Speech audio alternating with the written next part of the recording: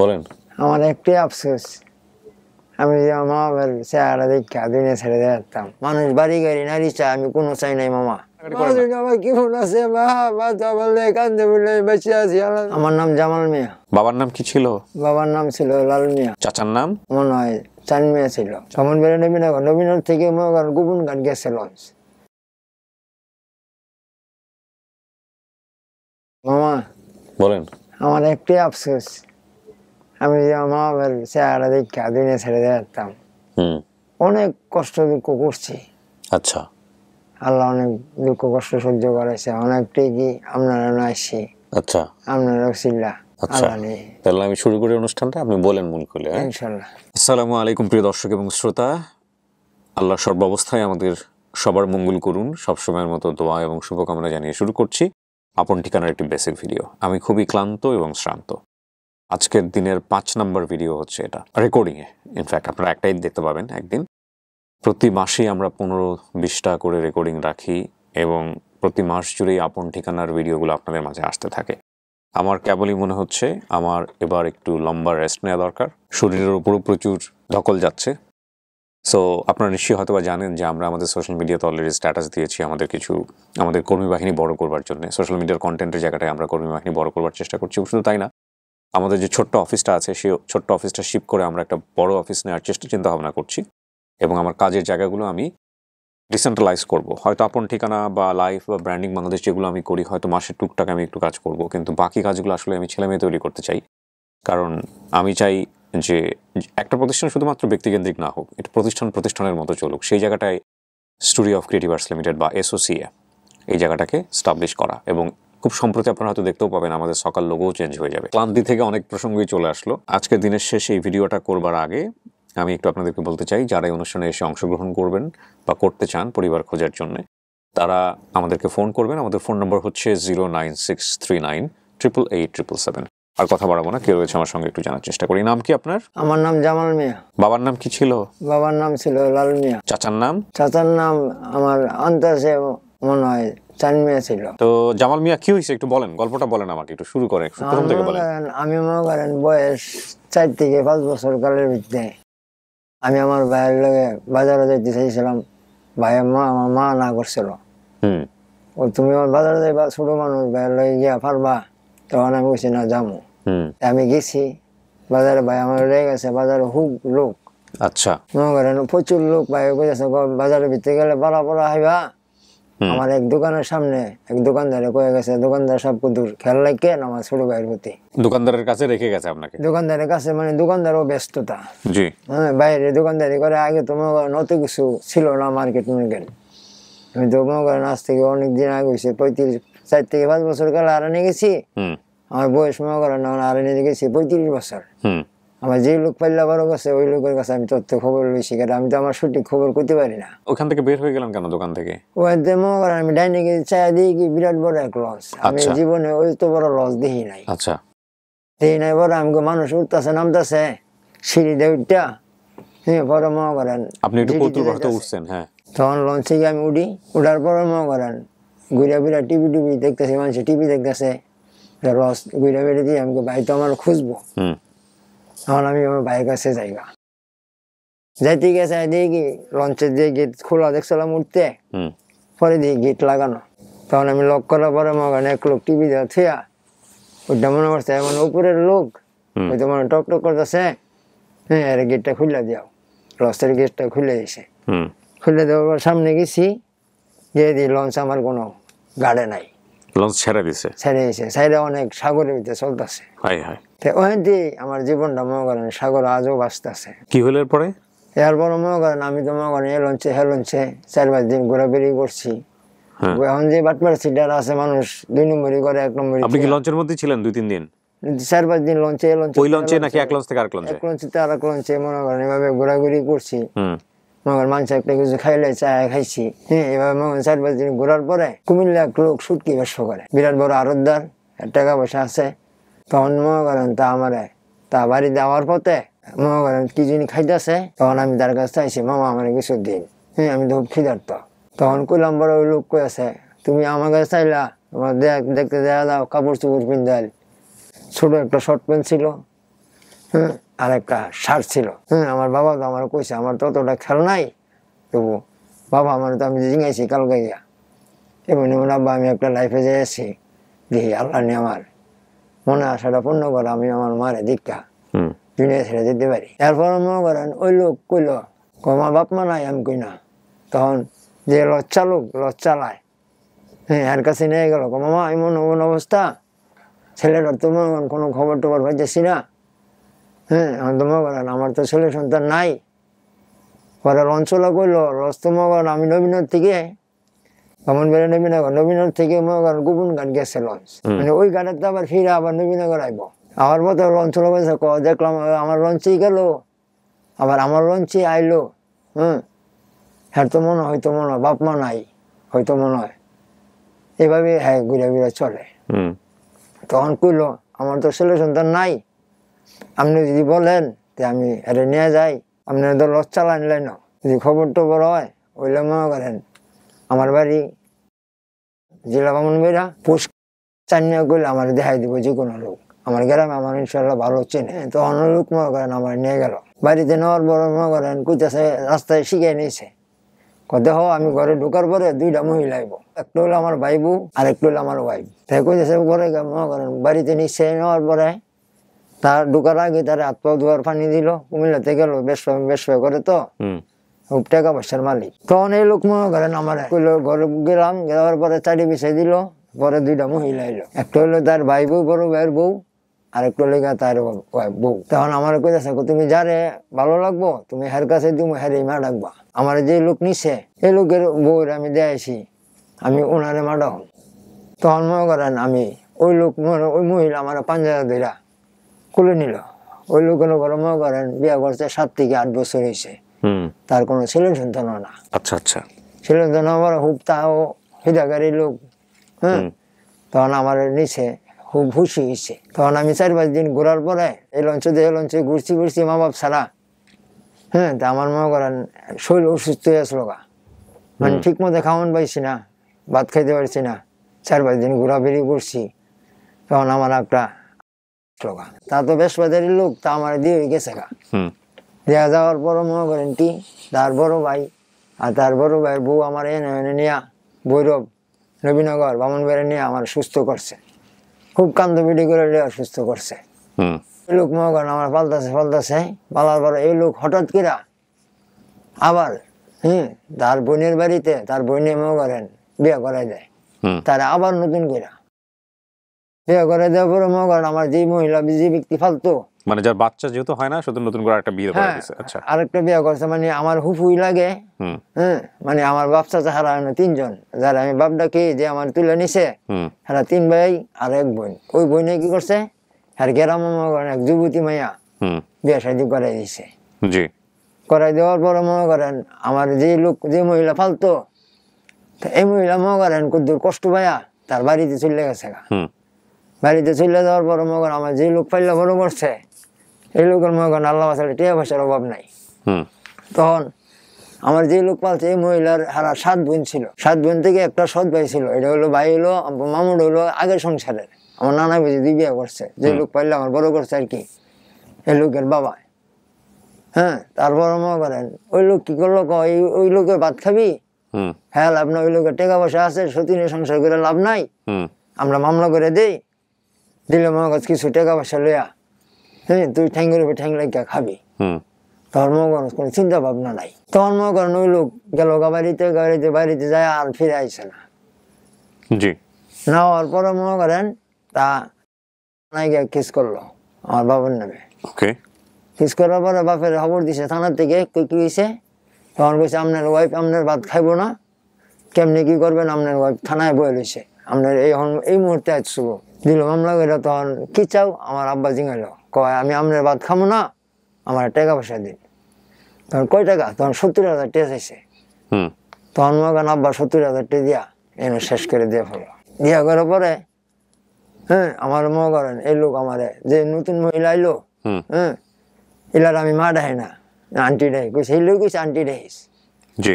Aunty ডাকতেছি ডাকতেছি মনে করেন প্রায় এমনি এক দেড় বছর গেল। জি।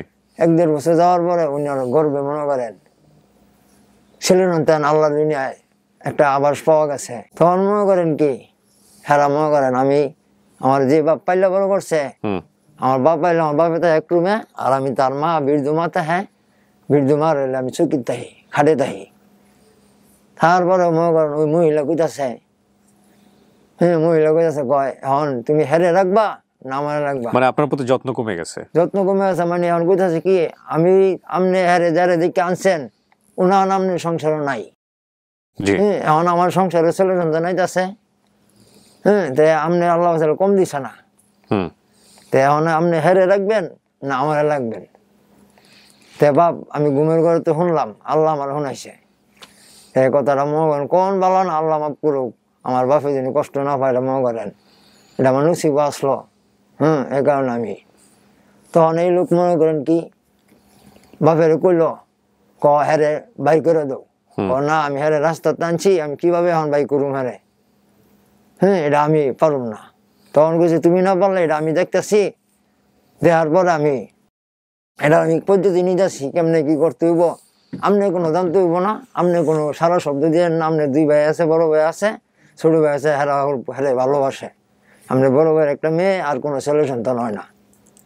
তখন হেরা আমার খুব ভালোবাসা আদর করে। আপনি কি ওই পরিবারে বড় হয়েছেন নাকি ওখান থেকে বের করে দিয়েছে আপনাকে? না ওই পরিবারে মনে করেন চার পাঁচ বছর আমি থাকছি। আমি বয়স চার চার থেকে ফালসের প্রতি আড়ানে গেছি আমার কুল ছেড়ে গেছি। এরপর মনে করেন হ্যাঁ আমার চার পাঁচ বছর পালছে। তারপরে কই গেছেন? পালার পর মনে করেন ওই লোক মনে করেন নতুন মহিলা যে আমার মা।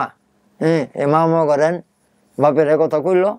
কোয়ার পরে কিছুদিনের ভিতরে আমার নতুন মার গ্রামে ঝগড়া সৃষ্টি হয়েছে মানুষ মারি লাইছে। তার বড় ভাই পরীক্ষা দিব। আপনি গেছেন কোথায় এটা বলেন? পুরো গল্পে না যাই। আপনাকে এই পরিবারে থাকতে পারছেন নাকি এখান থেকে অন্য কোথাও যাই এই হয়েছে? পরিবর্তে মনে করেন কি আমার আরেকটা জায়গায় দিছে। তার মনে করেন তার ভাইয়ে আমার পরীক্ষা দেওয়ার কথা কইয়া তার ভাইয়ের লগে আমার নবীনর থানায় দিছে। আমার বাইরে পুলিশ টুলিশ তুমি দীক্ষা নিবা আমার হুবুর বাসার থেকে আবার হুবুর বাসার থেকে লই আইবা। তে মনে করেন এক মাস নিলাম। নেওয়ার পরে ওই লোক কি করছে পরীক্ষা শেষ। শেষ হওয়ার পরে মনে করেন ওই লোক আমার এক মেলায় লেগে গেছে করে নাম মেলাত নিয়ে আমার কইতাছে দশটা টাকা জিলাপি কিনে দিল। কিনে দিয়ে কইতাছে কি বাগনা তুমি জিলাপিটা খাও মামা একটা বই নিয়ে আসি। এই লেখে চলে গেছে? এইদিকে মনে করেন চলে গেছে। আর আসে নাই? আর আসে নাই। প্রায় মনে করেন আমার তিনটার দিকে থেকে গেছে ন বাজে মনে সাত থেকে আপনি ওই পরিবার খুঁজে পাইছেন নাকি অন্য কোথাও গেছেন এরপরে ওখান থেকে? না ওই পরিবারতে মনে করেন আমার যখন মনে করেন উনি ফালাই দেওয়া পড়ছে তখন আমি চিন্তা করলাম আরে, আমার বয়স যে চার বছর কাল আমি রাস্তা আমার জীবন শুরু। আল্লাহ আমার কপাল লিখা দিল। আর এই বুঝি, আমি যে ওই যে শুনলাম, বাপের যে মা কইলো, কীভাবে হারে আমার সংসারতে ব্যয় করতে এটা আমার পলিটিক্স আছে, আমার জানা আছে। তুমি এটার মধ্যে কোনো ডিস্টার্ব দিও না। ডিস্টার্ব দিলেই আমার বেশি বউ। তা ওই লোক আমার তো ফালাই দিয়ে ফেলল। তখন চিন্তা করলাম আমার তো আবার রাস্তায় জীবন শুরু। নসিব খারাপ, কী করব? আল্লাহর আমি দোষী না, আমি দোষী আমার নসিব রে। তখন এই লোক ফালাই দেওয়া পড়ছে তখন আমার টিম্পলারা মনে করেন দশ টাকা, তখন ভাড়া। তো কোনো টিম্পল আমার আনে না, আমার নবীনগর টাউনে, ওই গ্রাম সাইডের থেকে। ওটা রাস্তায়, রাস্তার পাশে মেলা হয়েছিল, বিরাট বড় মেলা হয় নবীনগরের ভিতরে মাঝি গারা গেরা নাম। তো ওই চিন্তা করলাম, দুই তিন টেম্পল আর করলাম টেম্পল আমার আনলো না। টাকা নাই, এন মেলা চলতেছে, টাকা ছাড়া লোক নিব না। তা আমার কাছে টাকা নাই, আমার এখন কেমনে নিব? তখন আমি আমি আরেকটা টেম্পল আর করলাম, ভাই, আমার কাছে টিয়া পয়সা নাই, আমার মা বাপ নাই। আমি এক সংসারে থাকতাম, সংসারে আমার পালছিল। সংসারে পালার পর এক মামায়, যে যে একবার নতুন মহিলা এলো মামায়, আমার এনে দশ টাকা জিলাপি কিনে দিয়া এই যে গেল, আর কোনো খবর নাই। তিনটা বাজে দিয়ে বয়ে যায় গেছে, সাত থেকে আটটা বাজে। তখন আর কোনো খবর নাই, আমি একবার ফিরা। ওই টেম্পো লগেছে কয় সিট জায়গা নাই, তুমি পিছে খারাপ হয়ে দেখা আসো আমার লগে টাউন তখন লজঘাট গেলাম তখন গিয়ে আমি কই যাব? আমার তো পরিচয় নাই। অপরিচয়হীন নসিব খারাপ। হ্যাঁ তখন ওই লোক মনে করেন লঞ্চে উঠলাম ওঠার পর আমি কই যাব? তখন চাই এক সুন্দর এক মনে করেন এক বৃদ্ধ লোক লঞ্চ চালায়। সারেং সাহেব তো সারেং সাহেবের কইলাম না না আমার তো মা বাপ নাই। হ্যাঁ আমারে আমার একটা কিছু দিন আমি যে আমার পেটটা বাঁচায়া আমি চলতে পারি আমি যদি খায়া বাচ্চা থাকতে পারি। আমি মনে করেন তখন কুলো করি বেটা তুই তো সিঁড়িও টান দিতে পারবি না লঞ্চে? আর মগজ বাসও ধরতে পারবি না কান্দে? ছোট মানুষ কি করবি? তখন ওই লোকের মাথায় একটা বুদ্ধি এলো আরে আমার দোকান আমার লঞ্চে তো চার দোকানদার আছে। আমরা দশটা স্টাফ লঞ্চের মধ্যে কাজ করি। দশটা স্টাফ থেকে হেরে খাওয়ামু।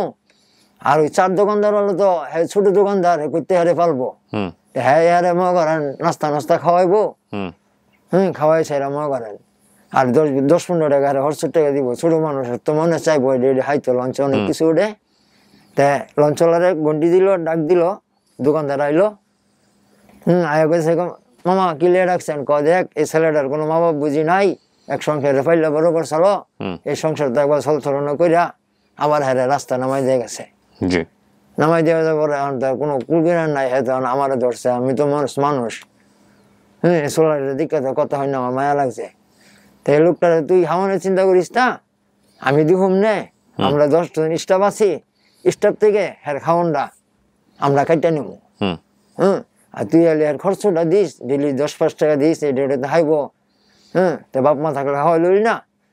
তখন মনে করেন আমার বাপ মা তখন ওই লোক আমার মনে করেন জায়গা দিল। জায়গা দেওয়ার পরে আমার যে লোক ইনি ফাইলা বড় করছে বাপ সানমিয়া। হুম। যার নাম ধরে তাহি। ওই সানমিয়া মনে করেন আমার আর বিচার না বিচার আমার জেডা ওই লোকের বড় ভাই আর ছোট ভাই। হুম। বিচারা ভানা ভানা আমার জেডার শালি আছে একটা নবীনগর থানায়। ওই শালির বাসা মধ্যে বিচারে চাইছে তানা মানা বিচারাইছে কারণ নবীনগর তো যেন আনাইছে হয়তো নবীনগরই থাকতে পারে। শোনেন যেন নাম বললেন আপনার? জামাল ভাই। জামাল ভাই। আপনার যে গল্প এই গল্প আমি বুঝতে পারছি অনেক কষ্টের গল্প। হ্যাঁ। এটা তুলে আনতে গেলে তোমার অনেক সময় লাগবে। আমি আপনাকে ছোট ছোট করে কয়েকটা প্রশ্ন করি হ্যাঁ। আপনি উত্তর দেন। হ্যাঁ। আপনি কি করেন পেশায় এখন? চানাচুর বিক্রি করি। মাঝে মাঝে আমি গাড়ি আর ভালো গাড়ি পাই না চানাচুর বিক্রি করেন। চানাচুর বিক্রি করে কয় টাকা থাকে? বিক্রি করার পরে মনে করেন এই যে মনে করেন আপনারা ভিডিও দেখি আপনার কথা শুনি পরে তা আমার বুঝতে পারছি। জামাল ভাই আপনি এখানে আসছেন আমাদের ভিডিও দেখেই আসছেন। চানাচুর বিক্রি করে কয় টাকা থাকে আপনার দিনে? আমার মনে করেন চালান পুঁজি কম তো আমার তো মনে করেন কেউ আমার দেওই না নাই। কয় টাকা থাকে দিনে? মনে করেন পাঁচ চারশো টাকা থাকে পাঁচ ছশো টাকা থাকে। আপনার পুঁজি কত চানাচুর বিক্রি? আমার পুঁজি মনে করেন তো মনে করেন পুঁজি তো লাগে অনেকে আমার তো পুঁজি নাই। কত পুঁজি? আছে মনে করেন প্রায় বারো তেরোশো টাকা আসলে মনে করেন পাঁচ টাকা খরচ করে আইসি। আচ্ছা আচ্ছা হ্যাঁ, না আপনার ছশো চানা চানাচুর সব মিলায় দোকানের দোকানে কত পুঁজি? দোকানে পুঁজি করেন আমার তো লাগে অনেক আমার করেন আছে হল মাত্র বারোশো টাকা পুঁজি। এই টাকা দিয়ে চানাচুর নাচুর কিনে বিক্রি করবেন? হ্যাঁ এটাতে করেন ভাই করে পোলাবান পালি আল্লাহর মাল আমার তিনটা ছেলে মেয়ে দিছে। লেখাপড়া করান? তেরো বছর লেখাপড়া করাই। আচ্ছা। আবার আরেকটা ছেলে সাত বছর এরও লেখাপড়া করাই। হ্যাঁ আর একটা মনে করেন রিজিকের মালিক কে? রিজিকের মালিক আল্লাহ। আল্লাহ। আল্লাহ আপনার জন্য যতটুকু রিজিক লিখে রাখছে এই এতটুকু রিজিক নেওয়ার ক্ষমতা কারণ নাই পৃথিবীতে। এটাই আমি আল্লাহ এতটুকু রিজিক যতদিন পর্যন্ত আপনার আছে ততদিন পর্যন্ত আপনার মৃত্যু হবে না। হ্যাঁ। বুঝতে পারছেন? সুতরাং রিজিক আপনি যেভাবে পাচ্ছেন এটাই আপনার জন্য নির্ধারিত। হ্যাঁ। কিন্তু আল্লাহ আপনাকে চেষ্টা করতে বলছেন। আল্লাহ আপনার তকদির চেঞ্জ করে দিতে পারেন। তিনি হচ্ছেন সেই ক্ষমতার অধিকারী। হ্যাঁ। তো আপনি কখনোই হতাশ হবেন না। দুনিয়া একটা পরীক্ষা ক্ষেত্র মাত্র। এখন কথা হচ্ছে ভাই আপনি আমার কাছে আসছেন আপনি সহজ সরল মানুষ আমি চেষ্টা করব। এবং আল্লাহ যদি আপনার হ্যাঁ কপালে লিখে রেখে থাকে আপনি পাবেন ইনশাল্লাহ বরিশালের গ্রুপগুলোতে শেয়ার করতে হবে। ভিডিওটা। অনেক বড় হয়ে গেছে জি। এখন মনে করেন আমার একটি আফসোস আমি এই দুনিয়ায় মা বাপের চেহারা দেখা আমি মরতাম চাই। এই যে টঙ্গি বিশ্ব ইস্তেময় আমি বিশ্ব ইস্তেময় মনে করেন আমি দুই তিনবার গেছি। মানুষ বাড়ি গাড়ি নারী চাই আমি কোনো চাই নাই মামা। আমি উদার চাই আল্লাহ মানুষের মা বাপ দিয়ে কত মানুষের আদর করে আমার মা বাপ বুঝি আমার নাই। আমার মা বাপরে আমার তুমি আল্লাহ যে রাখো আমার মারে আমার দেখায়া আমার মৃত্যু করো। এটি আমার কলি যায় আঘাত এটি আমার আল্লাহ আপনার আপনার দোয়া কবুল করুক এই দোয়া আমরাও করি। আমি আল্লাহর কাছে আর কোনো চাই না। জি। আমি মার চেহারা দেখে আমি কোনো মতে- ইনশাআল্লাহ ইনশাআল্লাহ। যেমন আমরা শেষ করি। পিতা লাল মিয়া চাচার নাম চান মিয়া। এটুকুই শুধু মনে আছে ওনার আর কিচ্ছু মনে নাই বরিশাল হতে পারে। বাড়ির পাশে যে কি কি ছিল আমার ঘরের সামনে একটা নারকেল গাছ ছিল। হুম। ডাইন পাশে মনে করেন যাওয়ার পথে মনে করেন ডাইন পাশে বিরাট বড় একটা হাল ছিল। হুম। আর আমার ঘরের পিছনে বিরাট বড় একটা মসজিদ ছিল। ঠিক আছে আল্লাহ ভরসা দেখা যাক কি হয়। বাম সাইডে মনে করেন জঙ্গল মঙ্গল ছিল আর সামনে একটা বড় পুষ্কুনি ছিল। ওনার বুকের ভেতরে যে কথা আছে সেই কথাগুলো নিতে গেলে এখানে ঘণ্টার পর ঘণ্টার সময় চলে যাবে। আমরা সেটা করি না আপন ঠিকানায়। আমি শুধু এতটুকু বলেই শেষ করতে চাই যে মানুষ পৃথিবীতে বিভিন্ন কনসিকোয়েন্সেসের মধ্যে আছে, বিভিন্ন সিচুয়েশনাল কন্ডিশনে আছে। উনি আজকে এরকম কারণ ওনার সিচুয়েশন এরকম ছিল, ওনার পারিপার্শ্বিক অবস্থা এরকম ছিল। এই জামাল সাহেবের জায়গায় যদি আপনি নিজেকে চিন্তা করতে পারেন, যারা প্রিভিলেজড আমাদের সোসাইটিতে তাহলে বুঝতে পারবেন ওনার দুঃখটা কি। উনি প্রপারলি লেখাপড়া পায়নি ওনার প্রপারলি পারিবারিক ট্রিটমেন্ট পায়নি।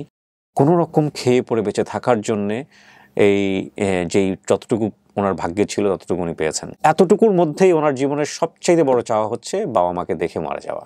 এটাই আমার চাওয়া আর ঠিক আছে। আমার চাওয়া নাই। এই এইটুকু যদি আমরা অনুভব করতে পারি অন্তর দিয়ে আল্লাহ নেই, আল্লাহ তাহলে আমরা আমার আল্লাহ দুইটা থাকে। জি জি ইনশাল্লাহ আমার আম- আর কোনো আশা আকাঙ্ক্ষা নাই। So, এরা প্রিয় দর্শক- মানুষের বাড়ি গেলে আমি বাড়ি গেলে না আমি একটাই ঠিক আছে জামাল আমরা চেষ্টা করব ইনশাল্লাহ আপনি কান্নাকাটি করেন না। আমার কি আছে? মা মা তো বললে কান্দে বললে বেঁচে আছি আল্লাহ দর্শক এবং শ্রোতা চলুন আমরা সবাই মিলে একটু চেষ্টা করি।